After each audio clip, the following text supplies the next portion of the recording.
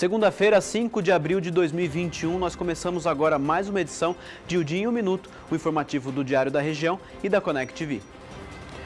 O prefeito de Jandira, Dr. Sato, pediu ajuda do Exército para a vacinação contra a Covid no município. A parceria já foi firmada e o suporte deve ser dado pelo 20 Grupo de Artilharia de Campanha Leve. O Exército vai ajudar com homens e equipamentos de infraestrutura.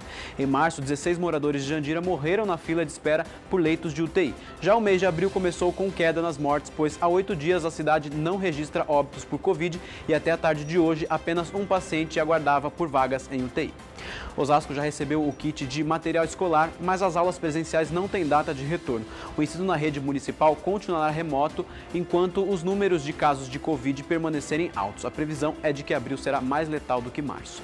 A polícia cumpriu nove mandatos de busca e apreensão em Coti e Barueri. Moradores desta cidade são suspeitos de ameaçar o governador João Dória.